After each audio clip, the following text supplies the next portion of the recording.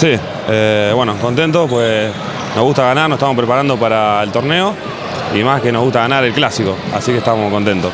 Aunque sea cuasi amistoso, siempre un clásico, un clásico. Sí, los clásicos son clásicos y eh, siempre jugamos a ganarlo.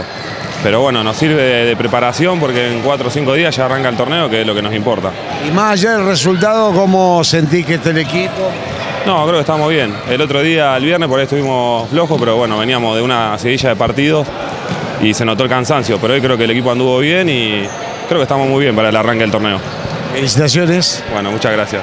Marcelo Casaleño, algunas palabras en esta Copa Cañada de Gómez, que bueno, al menos se pudo disputar eh, con total normalidad ambos partidos.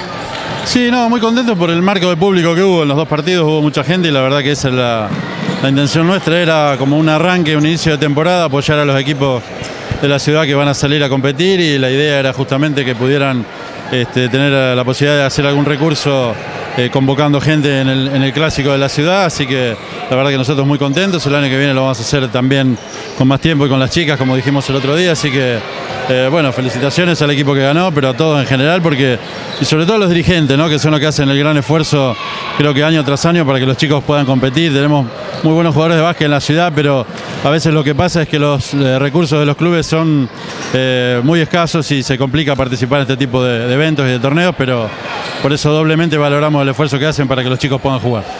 Y hablando del marco de público, faltando pocos minutos, estás prácticamente vacío. eh, el gimnasio, la cancha, no- no- vino el público todo de gol.